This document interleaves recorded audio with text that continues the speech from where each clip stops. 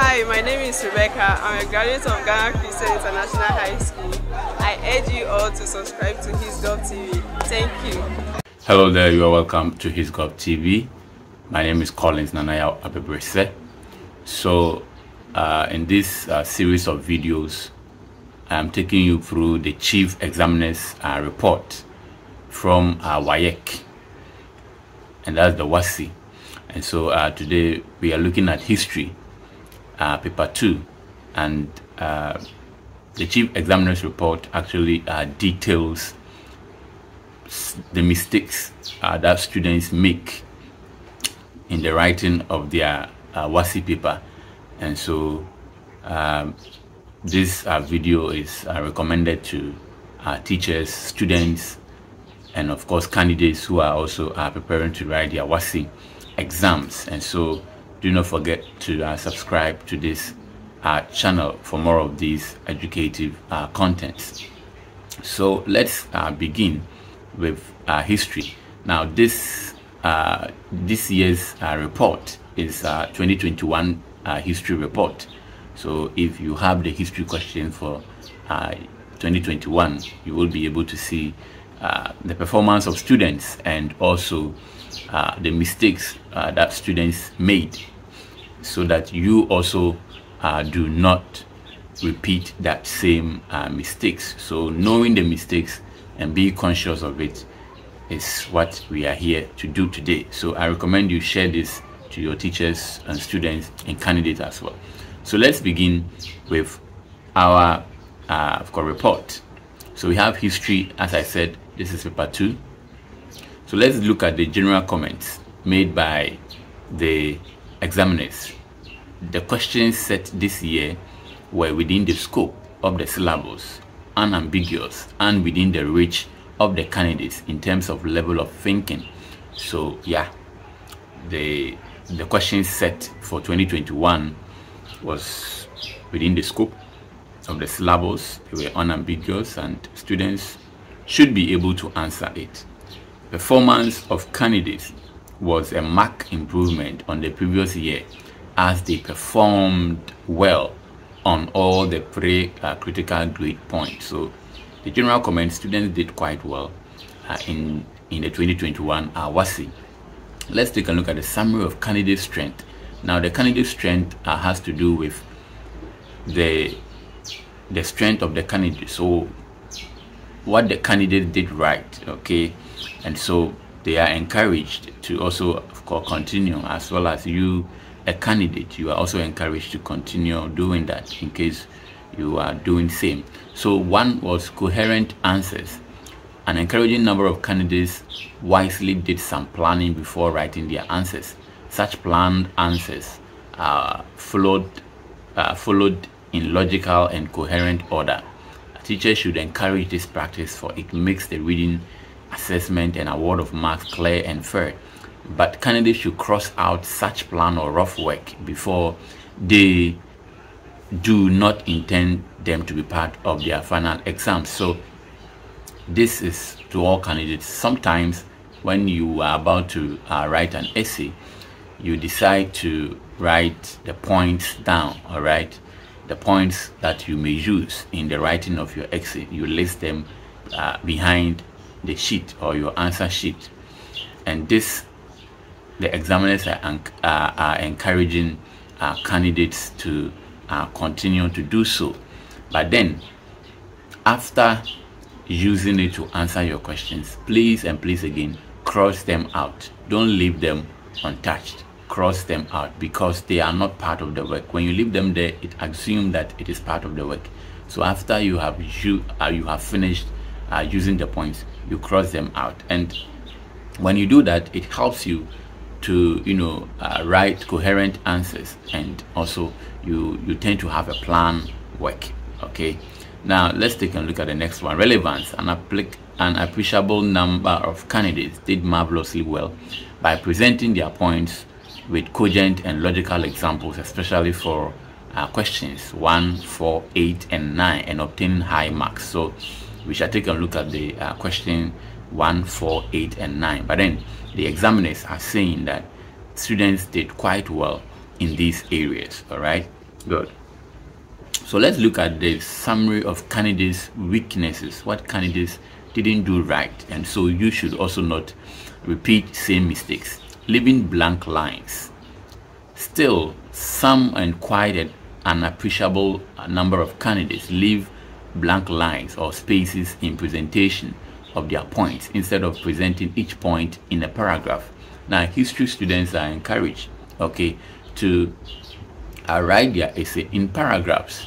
You do not have to leave a space between points. So, for instance, you write point one, okay, say list four types of that, and then you first you write the first point.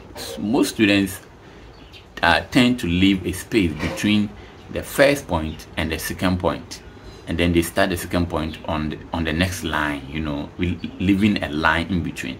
These examiners are saying it is not good. You may lose marks when you do that.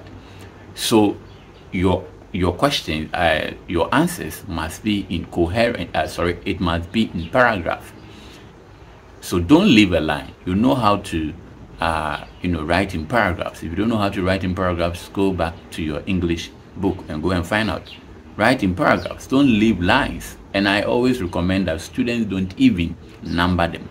Just write them in paragraphs and let your paragraph stand out all points in one paragraph. This was also another uh, weakness of students. Some also presented the points in one paragraph and that's making marking difficult since an examiner has to strain before awarding marks.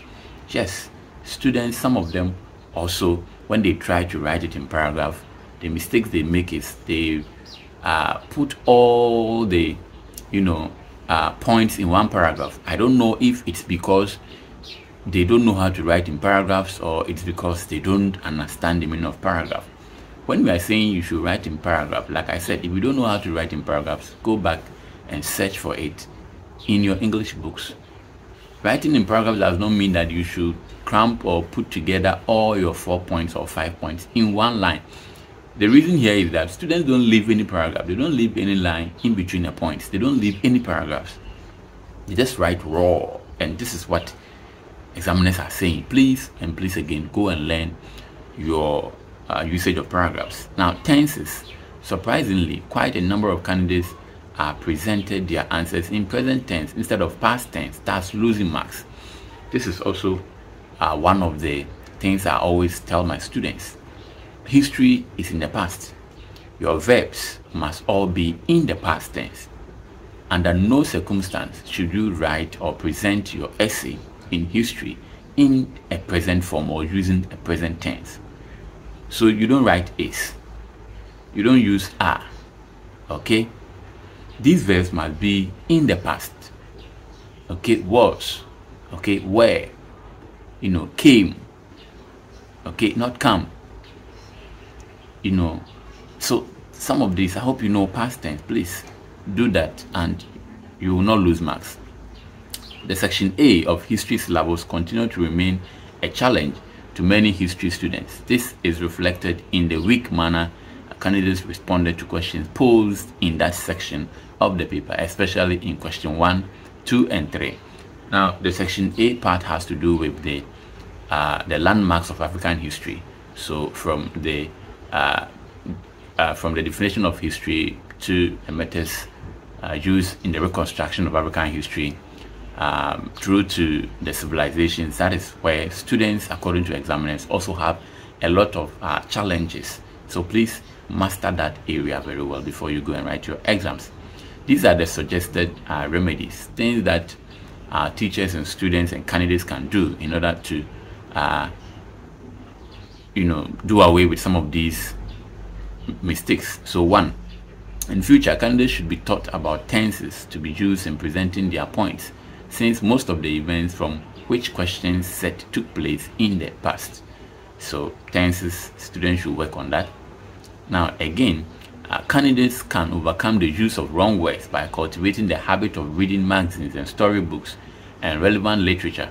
They should get good dictionaries. Yeah. Most students tend to read history uh, notes without checking out meanings of words and all of that. Please and please again. Misusing of words may also go against you. Okay. Uh, now, to get good uh, dictionaries to aid them to get the meaning and correct usage of words. They may also keep an inventory of such words and refer to them often in doubt. Please don't just use any word anyhow. 3. A careful and orderly arrangement of answers enhances accurate assessment. Uh, candidates should Uh, therefore be advised to fully complete the answer to one question before they tackle the next. Where, the, where it becomes necessary to continue an answer to a question elsewhere, the examiner should be directed. But candidates are advised not to reserve pages or spaces for questions they are not ready to answer immediately. Don't leave spaces and say that I'm going to answer the next question. So when I come back, I'll come and continue. It is not advisable. Sometimes either you may forget that you have left a space or by the time you come back, the response that you give, the answer that you write may be more than the space that you left. And so you you find yourself in a difficult situation whereby you are forced to jump and go and you know uh, continue the next whatever in the next paper and well you know it's it's all kind of it brings a lot of uh, discomfort to the examiners and it, it makes marking very very course, difficult. Teachers should come up with a teaching method that will make the teaching and learning of this subject interesting and meaningful to the candidates. Yeah. So uh, these ones i recommend the use of videos and pictures and you know group presentations and all of that. It shouldn't only be about the teacher. But then that's for the teacher. So let's take a look at the detailed comment. And this uh, detailed comment has to do with uh, the individual questions and how students fared in all these uh, questions in answering them let's take a look at question number one this question on egypt was popular many of the candidates who attempted delivered well however a handful of the candidates deviated from the task by writing everything on the civilization of Egypt instead of outlining any five features of the religious system of Egypt. So the question was outline five features of the religious systems in Egypt. And a lot of students were writing the whole uh, civilization of Egypt from the construction of the pyramid, you know, to architecture, to the handwriting, you know, everything about them, their socio-economic, uh, political, organizations, all these were written by students and stick to what they have asked you to do. Just the religious uh, system and you should be able to do that. Now this question was specific in its demands and it did expect candidates to write on the achievement of the pharaohs and their contributions to world civilization. It must be stressed that a lot more of the candidates addressed the question aptly and scored higher marks. The overall performance of candidate was good. Yeah because this was a popular question. Now let me also state here popular question. There are some questions which are unpopular. I call them questions for the fools all right? They are unpopular questions. You don't have to touch them a question that you read and nothing comes to mind please move on to the next question when you read and you don't get more than three points in your mind don't try it it's a question for the fool. so we call them unpopular questions we may come across some of them let's take a look at question number two this question on the Berbers was not popular, so we have come across a non-popular question. This was evident in the kind of weak response given by the candidates in addressing the question. Most of the candidates could not list the group of people Berber came into contact with in part A of the question. Neither could they aptly uh, tackle the question on the impact of Roman conquest on the Berber civilization. The conclusion drawn from the performer from the poor performance of candidates on these questions is that candidates do not have do not do sufficient reading of the topics in the section A part of the history syllabus. Yeah, so this question was uh, talking about the uh, Roman impact on the Berber. Uh, so the Berber conquered the Romans. So uh, sorry, the the Romans conquered the Berber. So what was the impact of the Romans on the Berber civilization? A lot of students could not be able to do it, and the examiners are saying that this was uh, unpopular question. I don't know if it is unpopular to you or not popular. And also the people that the uh, Berbers came into contact with. A lot of students could not also do that. Let's take a look at question number three. Several candidates avoided this question on Axum. Uh, for candidates were to identify the social effect of the introduction of Christianity on the people of Axum. Those who attempted it dwelt more on the introduction of Christianity and partially explained the social effect. However, a few of the candidates performed excellently on this question. They, they ably expanded points such as Christianity became recognized as a state uh, religion. Christianity brought about peace in Axum. Literature uh, flourished. Aside the good performance put up by few uh, candidates regarding this question, the overall performance of candidates was poor. So this question was talking about the introduction of uh, Christianity to Axum. And we know before you, you even come to that topic, we have how uh, Christianity got introduced to Axum. And so you realize that a lot of students were spending much time on the um, uh, the introduction of Christianity, the shipwreck, and all of that. And these examiners are saying you don't have to do that. Go straight to the question. Please attack the question. I always tell my students, I use the term attack the question. Go straight to the question. Don't be beating about the bush. Just go. It says effect of uh, Christianity on Axum. One effect of Christianity on Axum was that it led to blah blah blah. Go straight to the question. Don't go about the bush, you know. Then we have question number four. This question was very popular and those who attempted it performed credibly with high scores. They ably identified and explained the ways the possession of iron improved the life of the people by way of employment, income, item of trade, currency, farming to war implement, household items, and items for decoration, among many others. The overall performance of candidates was very good. So this has to do with the traditional uh, um, industries. And I'm sure that uh, candidates were asked to uh, talk or to write about the benefit of the iron industry to uh, the people of uh, pre-colonial Ghana. And they did well. Let's take a look at five. Many candidates attempted this question. The part A was uh, the part A was rightly uh, the part A was rightly handled. The European countries involved in the scramble for and partition of Africa were correctly listed. France, Portugal, blah blah blah. However, the B part was poorly handled. The effect of the scramble for and partition of Africa were wrongly taken to be the effect of colonization. Candidates should have explained how partition led to boundary disputes, loss of independence of traditional state, European interference in local affairs, division of ethnic groups and families, as well as exploitation of natural resources. The overall performance candidate was average. So yeah, this question had to do with the effect of the partition of uh, West Africa, and quite a lot of them were writing about the effect of uh, colonization. Somehow, it is somehow tricky because some of the effect of colonization somehow can be used for effect of the partition of Africa, the same way effect of I mean and vice versa. And so somehow students kind of mix them, but hey you should be careful. These are the effect, loss of boundaries, disputes, uh, loss of independence, traditional state, European interference of local politics and all of that. I have a video uh, discussing all these uh, lessons on the platform. You can check that for yourself. Now let's take a look at uh, question number six. Majority of the candidates avoided this question. Uh, those who attempted it were unable to impress with their answers. The part A was done with errors in spellings. Some uh, candidates uh, simply wrote Assin and did not specify whether Assin apeminim or Assin attendant. So regarding the part B, some candidates uh, listed the points without expanding on it. They were able to identify trade uh, rivalry, acquisition of guns and gun powder, protection of wrongdoers by Europeans, and personal desires of some leaders to expand their states and our kingdoms. The overall performance of candidate was poor. And I presume this question was about the uh, the the effect identified. They were able to identify identify trade bribery, acquisition of guns and gunpowder, protection of wrong by Europeans. I think it was talking about the the political effect of the Europeans' uh, presence along the coast. I presume that was the question and a lot of them could not explain. Sometimes students are not able to explain.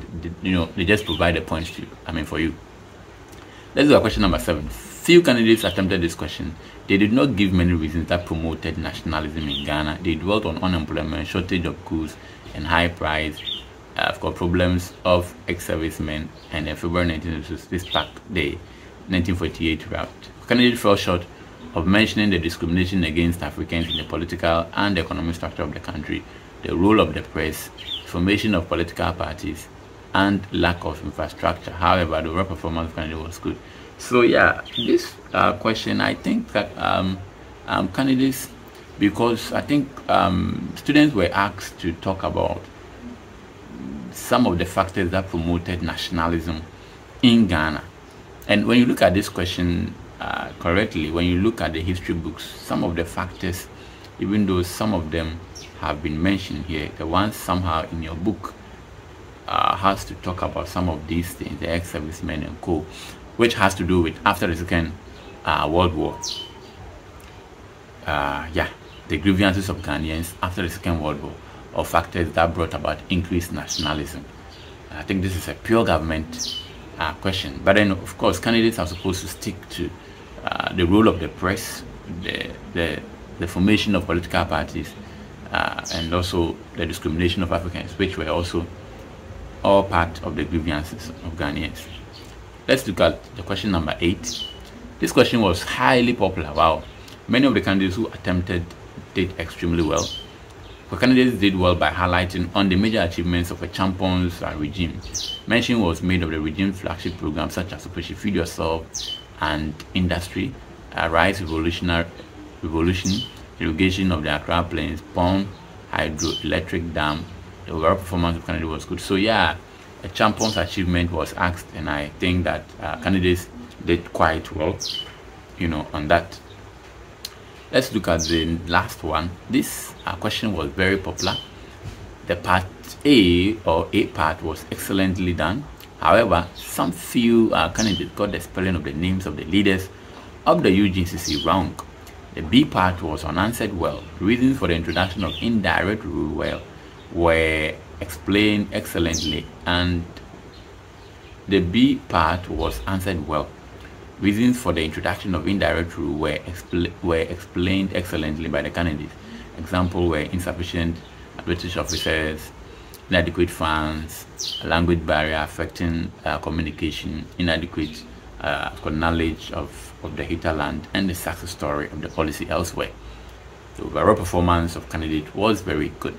So yeah, I think you have been enlightened and educated, and I believe that you may not make some of these mistakes as candidate. Or the best. I may be doing other uh, for subjects so you can check in our playlist uh, chief examiner's report to find some of these uh, contents for yourself. Have a nice day and thank you for watching. Bye bye